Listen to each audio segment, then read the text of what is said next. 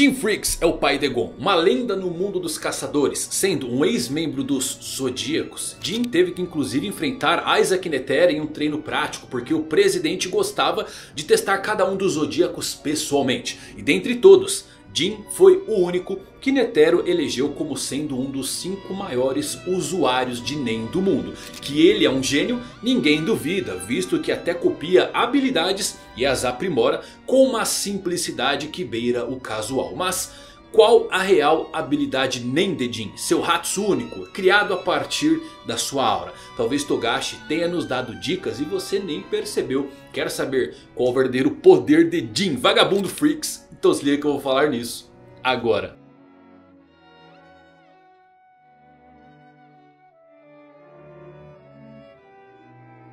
Fala galera, vou Fusari com mais um vídeo pra vocês, como é que vocês estão? Espero que todos vocês estejam maravilhosamente bem E hoje trazendo um vídeo muito legal, qual é a habilidade nem Jin? Eu fiz um vídeo há muito tempo sobre isso, mas como eu gosto de escavar, de ser um caçador de entrelinhas no mundo de Hunter x Hunter Eu estou atualizando com algumas coisas novas que eu achei que parecem confirmar qual que é a habilidade NEM do Jin. Então assiste até o final porque esse vídeo está muito legal. Se você é novo aqui no canal, assiste aí. Se você gostar, eu chamo você para virar um caçador e se inscrever no canal. Agora se você já é um caçador nível 3 estrelas, dispara o dedão no like para dar uma força para esse vídeo. Agora com vocês tudo sobre as habilidades de Jin Freaks.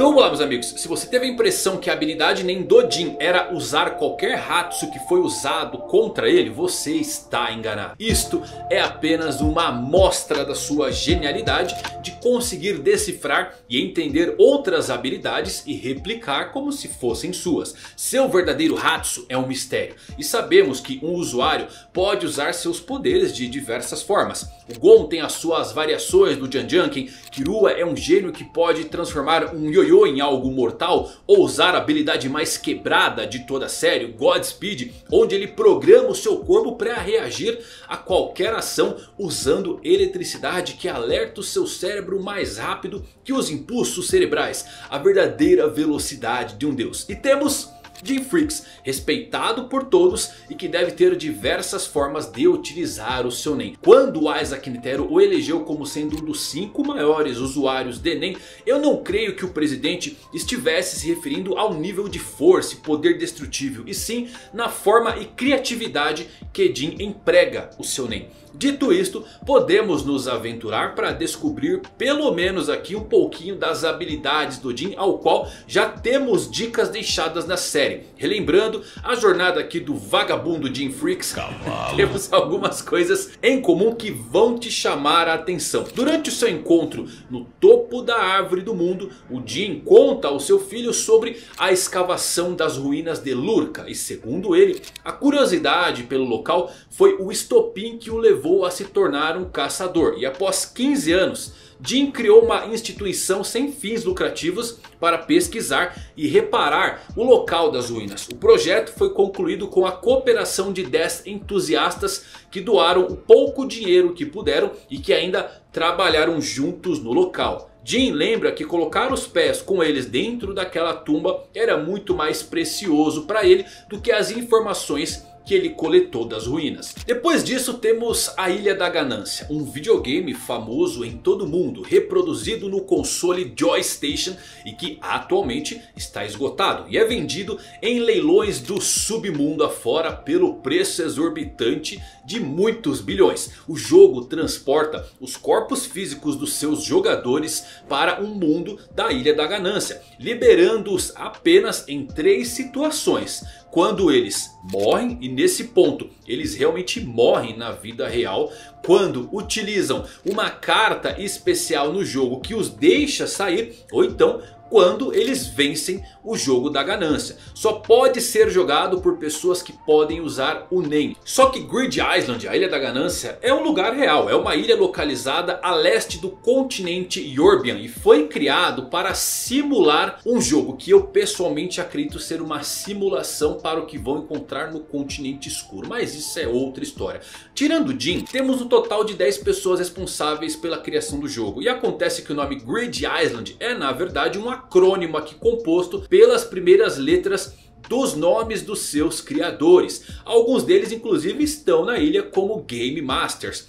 Mas por fim, temos a viagem em direção ao continente escuro. A equipe de Beyond Netero ao qual o Jin se juntou tem um grupo de mercenários que o Jin os fez passar para o seu lado, lhes pagando uma fortuna. Curiosamente, essa equipe é formada por 10 pessoas. Perceberam aqui as coincidências? Ruínas de Lurka, Grid Island e Continente Escuro. Equipes de 10 pessoas. E eu creio que o Togashi está dando dicas aqui de qual é a habilidade NEM do Jin. Ela é criar infraestruturas de organizações NEM trabalhando em conjunto com outras 10 pessoas. Mas olha isso aqui que insano. Vale até um outro vídeo depois. Porque eu creio que a ressurreição, a reencarnação de Kaito já pode ter sido planejada desde o início da série. Além disso, em conjunto com Kaito, também temos possíveis dicas que comprovam que essa habilidade Nendojin acabam sendo bem reais.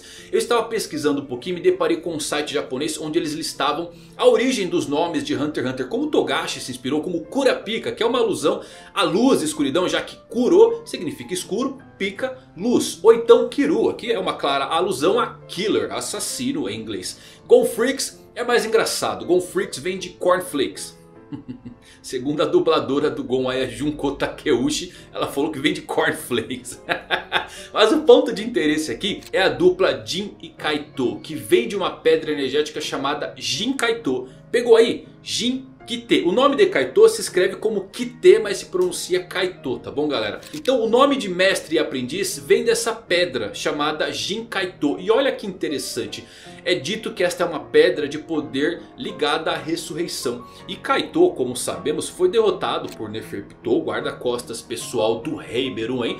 Mas depois acabou reencarnando na forma de uma garota chamada Reina, a irmã do próprio Meruem. Isso aqui é muito legal, porque olha só, a esposa do Togashi, Naoko Takeuchi, autora de Sailor Moon, nasceu em uma família especializada em joias de alta qualidade. E pesquisando um pouquinho mais em sites japoneses, depois que eu descobri essa coisa sobre o Jinkaito, essa pedra energética, que em tradução livre significa Zincita, eu fiquei abismado com os significados que ela tem. Jinkaito tem o significado e o efeito de criar novos valores. É uma pedra poderosa que faz você criar bens e serviços revolucionários. Ajudará a quebrar o bom senso e as regras exigentes. Jinkaito também tem o poder de combinar com sucesso coisas que antes não tinham conexão entre si. E é recomendado quando você precisa abrir novos caminhos. Quebrar o bom senso e as regras existentes e o poder de combinar com sucesso coisas que antes não tinham conexão entre si. Olhem para Grid Island, aquilo é uma coisa sem lógica. Então a habilidade Nendedin provavelmente tem a ver com conectar um grupo de pessoas. Combinar coisas que antes não tinham conexão entre si segundo a própria pedra. Tudo isso em prol de um objetivo em comum a fim de superar dificuldades e formar a equipe mais forte em batalhas de equipe. E é por isso que das ruínas lá no princípio, passando pela Ilha da Ganância e agora em direção ao continente escuro, ele sempre tem que estar com 10 pessoas ao seu lado. Esse conceito também é apoiado pelo fato do Jin ter literalmente recrutado criminosos desesperados e que foram condenados à morte, como o próprio Razor, que acabou sendo um co-criador da Ilha da Ganância ao seu lado. E agora Jin se aliou a mercenários de Beyond Netero que parecem mais criminosos do que qualquer coisa. Então é bem seguro pensar que a própria Ilha da Ganância foi criada com a ajuda da habilidade do próprio Jin e que aparentemente requer 10 membros para funcionar em sua totalidade. Quando você olha para outros feitos menores, mas que ainda assim são incríveis, feitos pelo Jin, você para para se perguntar como isso é possível. O rádio que o Gon escutou a fita é um deles. Ele imbuiu aquilo com emissão e aprimoramento por mais de 10 anos, galera. O rádio não foi destruído pelo soco do Kirua. Nunca nem chegamos perto de ver alguém fazer isso por todo esse tempo. E eu particularmente acho que o Jin ele é um mestre emissor no nível extremo. Eu sei que especialista parece muito mais legal. Mas eu particularmente gosto muito mais da ideia de que ele não seja especial. E que ele tenha essa vibração de Yusuke Urameshi de Yu Yu Hakusho. Análise de caráter Nen do Hisoka coloca o Jin Freaks como um emissor. Isso pode parecer até mesmo casual, comum, desanimado animador no princípio. Ele não sendo um especialista com todas essas habilidades que ele consegue fazer. Mas eu creio que a sua habilidade NEM é o poder de se conectar com esses 10 usuários de NEM. Utilizando sua aura como uma só. E onde ele emite a sua aura NEM para criar uma rede entre seus 10 aliados e seus próprios nós de aura. E ao fazer isso Todos eles ganham acesso à reserva de NEM uns dos outros. Além de atingir inclusive 100% ou mais de proficiência em todas as categorias NEM. Acumulando afinidade de cada membro. Isso seria muito legal. As restrições, claro, são o número de pessoas para isso funcionar. E o Jin só pode sincronizar com pessoas que lhe devem, confiam totalmente. Ou então que estão em um grupo e uma equipe específica que tem um objetivo em comum. Isto poderia explicar por que Jin está sempre em grupos, equipes e organizações sem fins lucrativos. As ruínas, os mestres do jogo da Ilha da Ganância e a equipe de Bion Netero para o continente escuro. Apesar de ser teimoso e parecer ruim com seus relacionamentos...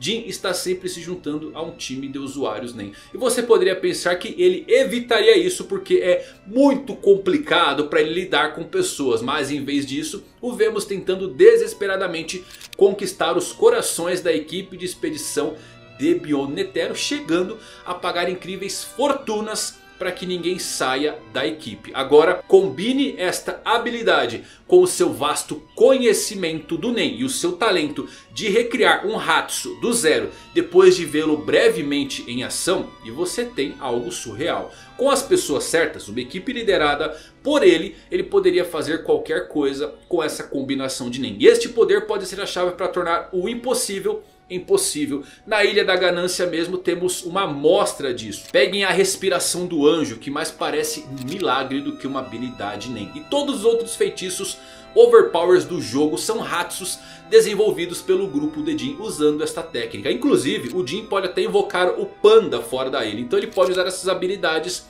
como um todo.